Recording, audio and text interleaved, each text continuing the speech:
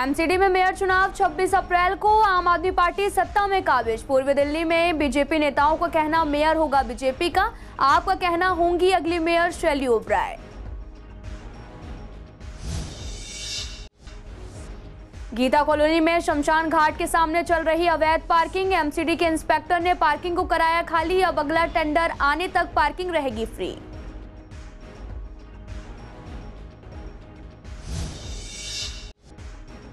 गोगलपुरी में दोहरे हत्याकांड में शामिल हत्या का आरोपी गिरफ़्तार। घर में हुई थी बुज़ुर्ग दंपत्ति की हत्या। बहू और उसके प्रेमी ने दोस्त की मदद से वारदात को दिया था अंजाम।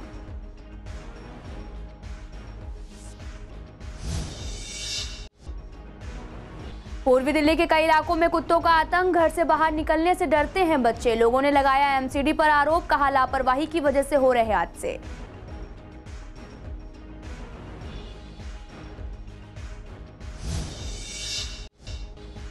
पांडवनगर में प्रॉपर्टी बहन के नाम कराने के लिए साले ने जीजा की की पिटाई, पत्नी और ससुराल वालों के खिलाफ मारपीट का केस दर्ज। शिकायत के बाद भी पुलिस नहीं कर रही कोई कार्रवाई।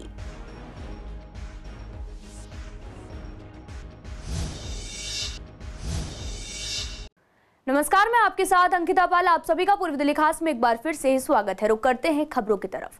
26 अप्रैल को दिल्ली मेयर का चुनाव होना है। हालाँकि दिल्ली की मेयर शैली ओब्राय हैं और अब की बार नए समीकरण के साथ में मेयर का चुनाव होगा। निगम में विपक्ष में बैठी बीजेपी ने चुनाव से ठीक पहले आम आदमी पार्टी के एक और पार्षद को अपने पक्ष में कर लिया है। वहीं कल होने वाले मेयर चुनाव पर हमने बीजेपी और आप पार्टी के नेताओं से बात की। आपको बता दें कि आप नेता अतुल गुप्ता का कहना है कि दिल्ली की मेयर शैली ओब्राय होंगी और वही मेयर बनेंगी और साथ ही वहीं बीजेपी नेता महेंद्र आहूजा का कहना है कि आपके पार्षद खुद मेयर से नाराज़ हैं। निगम में स्टैंडिंग कमेटी का चुनाव आपकी मेयर ने होने नहीं दिया। साथ ही कहा कि मेयर शैली ओब्राय ने लोकतांत्रिक मूल्यों का पालन नहीं किया है और यही वजह है कि हम मेयर का चुनाव लड़ रहे हैं। और भारतीय जनता पार्टी का भी ये मानना है कि जो उनकी वर्तमान मेयर कैंडिडेट हैं, उन्होंने पिछली बार मेयर रहते हुए लोकतांत्रिक मूल्यों का पालन नहीं किया। स्टैंडिंग कमेटी का जब चुनाव हो रहा था तो उन्होंने जो चुनाव घोषित हो गया, उसको घोषणा करने के एन पहले रोक लिया और दोबारा चुनाव कराने की कोशिश की। तत्पश्चात मामला कोर्ट में चला गया। ऐसे विवादित व्यक्ति को सर्वसम्मति से मेयर नहीं बनाया जा सकता, इसलिए नंबर न होते हुए भी भारतीय जनता पार्टी मेयर पद के चुनाव में लड़ रही है।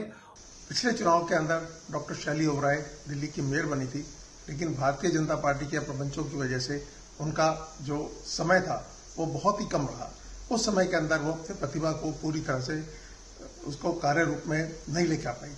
तो इसको देखते हुए आम आदमी पार्टी ने डॉक्टर शैली ओबराय को एक बार फिर दिल्ली का मेयर बनाने की पेशकश की है। हम चाहते हैं कि डॉक्टर शैली ओबराय दिल्ली के मेयर बने और दिल्ली के अंदर बहुत अच्छी तरह से काम करें। गीता कॉलोनी शमशान घाट के सामने अवैध तरीके से पार्किंग चलाई जा रही और एमसीडी के इंस्पेक्टर ने पार्किंग खाली करा दी है। जब तक अगला टेंडर नहीं आता, तब तक ये पार्किंग फ्री रहेगी। आपको बता दें कि स्थानीय पार्षद संदीप कपूर ने इस पार्किंग का ब्यौरा निकाला तो ये बात सामने आई कि यहाँ पर पार्किंग कुछ महीने पहले ही कैंसिल हो चुकी है। इस पार्किंग में लोडिंग, अनलोडिंग होती रहती है। और पता लगा कि ये पार्किंग बहुत पहले से जो ठेकेदार था, उसका कॉन्ट्रैक्ट ख़त्म हो गया था। तो कॉन्ट्रैक्ट ख़त्म होने के बाद ये फ्री पार्किंग का ऑलरेडी लेटर इशू था। लेकिन यहाँ जो है अवैध पार्किंग वसूली जा रही थी। तो आज ही मेरे साथ इंस्पेक्टर्स ने आके इस पार्किंग को खाली करवाया फ्री पार्किंग के बोर्ड लगाए। आप जो है गीता कॉलोनी किशन नगर के नागरिक यहाँ फ्री अपनी गाड़ियाँ खड़ी कर सकते हैं। जब तक टेंडर होके किसी ठेकेदार को एलोकेट नहीं होगी, जिस दिन लेटर उसे आएगा, जिस दिन सरकारी जो है पैसा चालू होगा, उस दिन जो है वो करेगा, लेकिन तब तक ये फ्री है। देखिए, ये तो एक बहुत बड़ा माफिया पार्किंग में काम करता है और धीरे धीरे उसे भी ख़त्म करेंगे, पहले भी हमने किया था। और, लेकिन ये कि इसमें तो नॉर्मल पैसेंजर गाड़ियाँ और गाड़ी तो वैसे कोई भी आ सकती है, लेकिन नॉर्मल पैसेंजर रिक्शा विक्शा जो सड़कों पे खड़ी हैं, सड़कों पे बहुत भीड़ है, वो यहाँ ला के खड़ी करें, क्या दिक्कत है? लोडिंग अनलोडिंग तो देखो लोडिंग अनलोडिंग तो अलाउ नहीं है। मैंने भी एसएचओ को फ़ोन किया है और उन्होंने कहा, ये सब काम बंद करवाइए, क्योंकि इससे लॉ एंड ऑर्डर की भी दिक्कत हो सकती है। तो एसएचओ ने कहा कल सुबह मैं अपने सिपाही भेज के ये सारी चीज़ें ठीक करवाऊँगा। देखिए, मैंने अभी आज ये बहुत सारी पार्किंग की लिस्ट उन्हें दी है और अधिकारियों को भी कहा है कि सारी पार्किंग, जितनी भी दिल्ली की पार्किंग है, वो सारी चेक की जाए। जो फ्री पार्किंग है, उनकी एक लिस्ट पब्लिश की जाए। और लोकल काउंसलर्स और जो प्रतिनिधि हैं और थाने के अंदर सारी लिस्टें दी जाएँ। दिल्ली पुलिस की क्राइम ब्रांच टीम ने गोकलपुरी थाना इलाके में हुई सनसनीखेज दोहरे हत्याकांड में शामिल 29 साल के विकास उर्फ़ विराज को गिरफ़्तार किया है। पुलिस को सूचना मिली थी, जिसके बाद उसे गुर्जर भवन, गाँव कोटला, मयूर विहार, दिल्ली के पास से गिरफ़्तार किया गया। आरोपी विकास सेक्टर तीन में चिरंजीव विहार और साथ ही गाजियाबाद, उत्तर प्रदेश का रहने वाला है। मामला अभी हाल ही का है। भागीरथी विहार थाना गोकलपुरी इलाके में बहत्तर साल के राधेश्याम और अड़सठ साल की वीणा नाम की बुज़ुर्ग महिला की उनके घर में सोते समय बेरहमी से हत्या कर दी गई थी। अपराधियों ने कुछ नकदी और गहने भी लूटे थे। इस मामले में गोकलपुरी थाने में केस दर्ज कराया गया। जाँच के दौरान मृतक दंपति की बहू मोनिका और उसका प्रेमी आशीष और आशीष का दोस्त विकास उर्फ़ विराज इस हत्याकांड में संलिप्त पाया गया था। आपको बता दें कि मोनिका और उसके प्रेमी आशीष को पुलिस ने पहले ही गिरफ़्तार कर लिया है, जबकि तीसरा आरोपी विकास फरार था। आरोपी विकास दसवीं पास है और पहले वह दूध की डेयरी में काम करता था और अब वो टैक्सी चलाता है। पैसों के लालच में आकर दोस्त आशीष के साथ में इस हत्या में शामिल हो गया था। पूर्वी दिल्ली में कुत्तों के आतंक से लोग बेहद परेशान हैं। गलियों में घूमते आवारा कुत्ते आते जाते लोगों पर भौंकते हैं और अक्सर उन्हें काट भी लेते हैं। ऐसे में लोगों के मन में कुत्तों का डर भी बैठ गया है। खास तौर पर बच्चे तो घरों से बाहर निकलते समय डरने लगे हैं। लोगों का कहना है कि एमसीडी की लापरवाही से कुत्ते इतने खतरनाक हो रहे हैं। इलाके में कुत्तों की तादाद बढ़ रही है। कुत्तों की इस समस्या का कोई भी परमानेंट हल नहीं है। लोगों को आए दिन कुत्तों के हमले झेलने पड़ते हैं। देखिए मैडम, सरकार द्वारा कुत्तों के लिए कोई पॉलिसी ना बनाने का नतीजा है। एमसीडी द्वारा कुत्तों के लिए कोई पॉलिसी ना बनाने का, उनको समय समय पर नसबंदी ना करने का नतीजा है कि आज दिल्ली में कुत्ते बहुत हुंकार रूप ले चुके हैं। अभी पिछले एक महीने के अंदर ही दिल्ली भर में चार बच्चे असामयिक काल के गाल में समा चुके कुत्तों द्वारा काटने के कारण।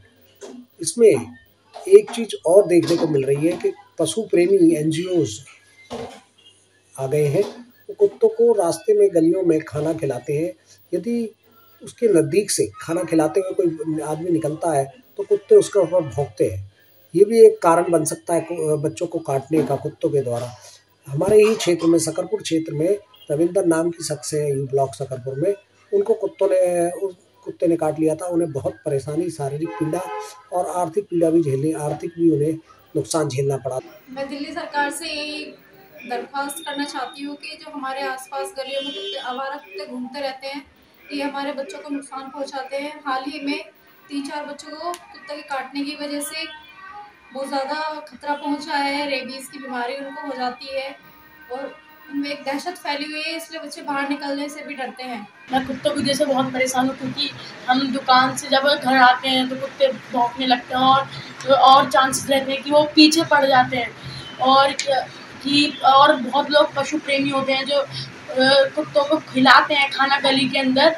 तो ये भी है उनका डर है कि वो कुछ भी काट ना जाए हमें। और एक बार क्या हुआ है कि अभी एक महीने के अंदर कुत्तों के काटने से चार बच्चों की मौत हुई है तो हमें भी डर लगता है अपनी जान का। पूर्वी दिल्ली के पांडव नगर थाना इलाके में कोटला गाँव में रहने वाले विनय कुमार ने अपनी पत्नी और ससुराल वालों पर मारपीट का आरोप लगाया। विनय कुमार का कहना है कि उनकी पत्नी के नाम प्रॉपर्टी कराने के लिए उनके साले ने विनय के साथ में जमकर मारपीट की। उनको बहुत ज़्यादा पीटा गया और उनके हाथ पैर भी तोड़ दिए गए। विनय का कहना है कि इस मामले में फरीदाबाद थाना पुलिस ने मुकदमा तो दर्ज कर लिया, लेकिन आरोपी पर कोई भी कार्रवाई नहीं हुई है। मैं वहाँ जाकर बेटे के बारे में पूछता हूँ। ये अपना वही पूछते हैं कि प्रॉपर्टी के पेपर लाया, किराया लाया और हमने पेपर तैयार करवा लिए हैं तो सब प्रीति के नाम कर दे। मैं मना कर देता हूँ। मैं कहता हूँ, बेटे को दिखाओ। ये कहते बेटा यही है, लेकिन अब हम चलते हैं वहाँ चार सौ सत्तर बटा इक्कीस बी पे हमारा प्लॉट है, वहाँ चलते हैं। मेरे मना करने के बावजूद भी वो दो बियर बोतल मंगवा देता है मेरे लिए। मैं पीता नहीं हूँ, मना कर देता हूँ। उसके बाद अभिषेक चुपचाप उठ के जाता है, पीछे से लोहे की रोड लाता है। मैं कुर्सी पे बैठा हुआ होता हूँ, मुझे कुर्सी से गिराता है और पहली बार में मेरी टांग तोड़ देता है। उसके बाद मुझ पर लगातार वार करता, मेरे दोनों पैर मेरे दोनों हाथ तोड़ देता है। मेरी शादी को 11 साल हो गए 2012 में मेरी शादी हुई थी। लड़ाई का कारण अब फ़िलहाल जो है वो ये है कि ये सब चाहते हैं मेरे पे जो भी थोड़ी बहुत संपत्ति है, वो मैं इनकी बेटी के नाम कर दूँ। क्योंकि इनकी कहीं सुनवाई नहीं हो रही है, कोई थाने वाला, कोई पुलिस वाला, कोई कुछ नहीं सुन रहा।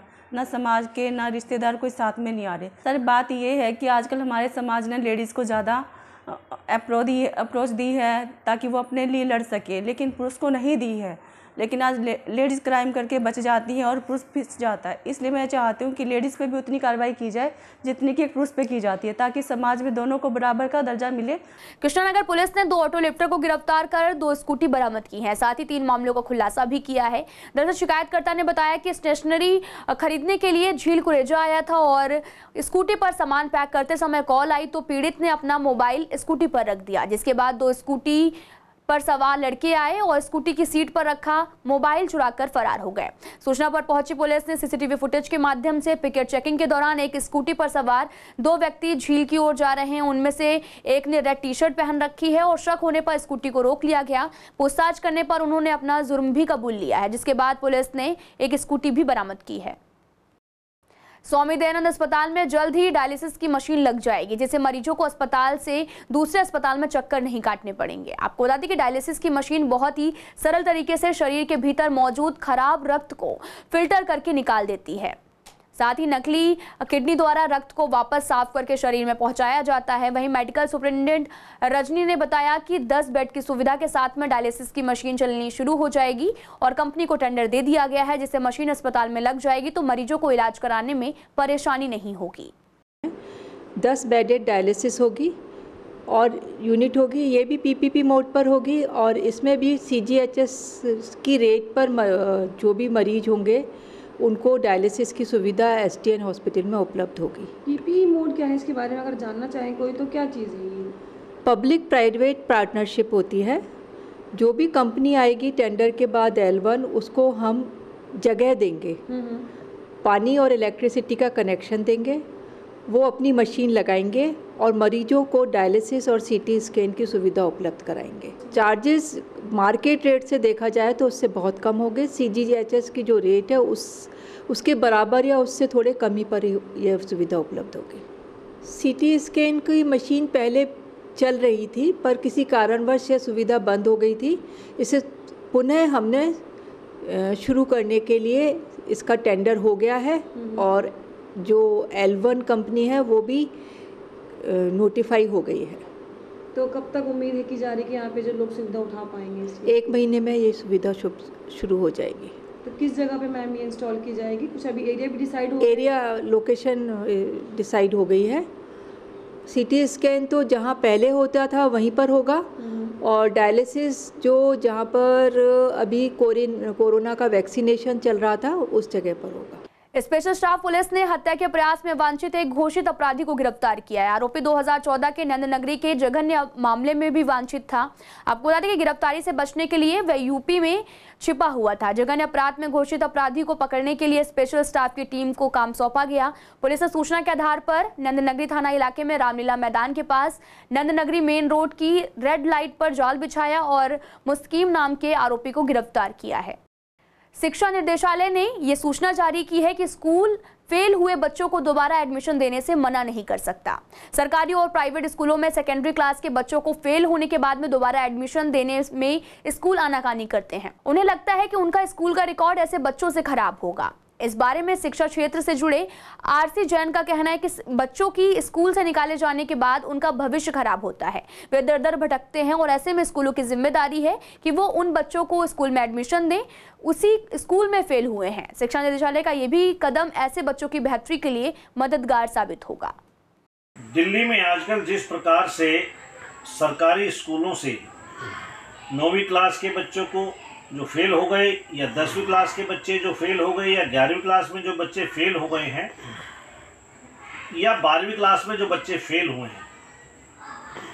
सरकारी स्कूलों में एक नया ट्रेंड चल रहा है कि ऐसे क्लासों में फेल होने वाले बच्चों को स्कूल के प्रिंसिपल्स की तरफ़ से, अन्य स्टाफ की तरफ़ से दबाव बनाया जाता है कि वो बच्चे इन स्कूलों से अपना सर्टिफिकेट ले करके और ओपन स्कूलों में जा कर के अपना दाखला लें। क्योंकि दिल्ली सरकार ये चाहती है कि मेरे स्कूलों का रिज़ल्ट बेहतर रहे, ऐसे में जो बच्चा एक दफ़ा फेल हो जाता है, सरकार उन बच्चों को बाहर निकालने का प्रयास करती है। जबकि दिल्ली स्कूल शिक्षा अधिनियम के तहत इस प्रकार का कोई प्रोविज़न नहीं है कि अगर कोई बच्चा फेल हो जाए तो उसको आप क्लास से बाहर कर दें। नियम ये कहता है कि उसको दोबारा से आपको एडमिशन देना पड़ेगा, किसी भी हालत में आप उसको एडमिशन से मना नहीं कर सकते। पूर्वी दिल्ली के सांसद गौतम गंभीर ने पूर्वी दिल्ली की जनता से सीधा संवाद करने के लिए गौतम कनेक्ट अभियान का शुभारंभ किया। आपको बता दें कि सांसद गौतम गंभीर ने गांधीनगर विधानसभा अंतर्गत ओल्ड सीलमपुर गाँव के राजेश पायलट चौपाल में कार्यक्रम का आयोजन किया। आपको बता दें कि कार्यक्रम में बीजेपी शाहदरा जिला अध्यक्ष लता गुप्ता, स्थानीय पार्षद नीलम चौधरी, पूर्व पार्षद जीतू चौधरी सहित कई बीजेपी के नेता और कार्यकर्ता मौजूद रहे और इस दौरान क्षेत्र के लोगों ने अपनी समस्याओं को गौतम गंभीर के समक्ष रखा। निगम, दिल्ली पुलिस और ट्रैफ़िक पुलिस, डीडीए, जल बोर्ड, रेलवे सहित कई विभागों की टीम भी मौजूद रही। वहीं कई लोगों की समस्याओं का समाधान भी किया गया। देखिए, ये कार्यक्रम अभी शुरू नहीं किया गया, पिछले कई समय से शुरू किया। आठवें से ज़्यादा है। हम कोशिश करें कि हर वार्ड में जाके लोगों की समस्याएँ सुने और कोशिश करें कि वो समस्याएँ दूर कर सकें। जैसे मैंने बोला था कि सारी समस्याएँ दूर नहीं हो सकती, लेकिन अगर उसमें से 70 परसेंट समस्याएँ भी दूर हो जाएँगी और साथ ही में जो हमारे निगम पार्षद हैं, उनके साथ मिलकर अगर हम उस वार्ड को और बेहतर बना पाएँगे या समस्याएँ दूर कर पाएँगे तो लोगों के लिए बेहतर है, क्योंकि लोगों के लिए तो हम आए हैं, लोगों ने हमें चुना है तो अगर हम उनको कुछ वापस दे सके, उनको वार्ड को बेहतर बना सके, उससे बेहतर चीज़ क्या हो सकती है? देखिए, आपके सामने है, जब अधिकारियों को यहाँ पर बुलाया तो किस तरीके से हमने अधिकारियों को बोला है कि इसका समाधान निकालिए, क्योंकि लोगों को तकलीफ़ नहीं होनी चाहिए। मेरा हमेशा ये मानना रहता है कि जिन लोगों ने हमारे को वोट देकर चुना है, इस सीट पे बिठाया है, उनकी समस्याएँ दूर हो, और उनको अगर किसी तरीके की कोई तकलीफ़ हो रही है तो अधिकारियों का काम है कि उसका समाधान निकालें, और उसको रेगुलर फॉलो अप करेंगे। यहाँ पर काउंसलर जो हैं, यहाँ की नीलम जी तो मुझे विश्वास है कि आगे आने वाले समय में इसका ज़रूर कोई ना कोई समाधान निकलेगा। पूर्वी दिल्ली के ईएसआई हॉस्पिटल झिलमिल में आज अंबेडकर जयंती के अवसर पर कार्यक्रम का आयोजन किया गया। कार्यक्रम में लोगों के देश के संविधान निर्माता डॉक्टर भीमराव अंबेडकर के बारे में बताया गया। उन्हें श्रद्धांजलि दी गई। कार्यक्रम में हॉस्पिटल के कर्मचारी डॉक्टर एमएस एडिशनल एमएस और साथ ही सीएमओ भी मौजूद रहे। कार्यक्रम में डॉक्टर अंबेडकर के देश के लिए किए गए योगदान पर भी चर्चा की गई। डॉक्टर भीमराव अंबेडकर कोई एक व्यक्ति नहीं, एक विचार है। आप जितना पढ़ें, उतना कम है। बाबा साहब का जब जन्म हुआ, उस वक़्त छुआछूत जात पात चरम सीमा पर था। उस वक़्त में बाबा साहब को शिक्षा ग्रहण करने के लिए क्लास में बैठने की अनुमति नहीं थी और पानी पीने का अधिकार भी नहीं था और ये सब किसी को मालूम भी नहीं था। वो व्यक्ति जो जिसको क्लास में बैठने का अधिकार नहीं है, जिसको पानी पीने का अधिकार नहीं है वो भारतवर्ष के लिए एक भारत संविधान का निर्माता होगा।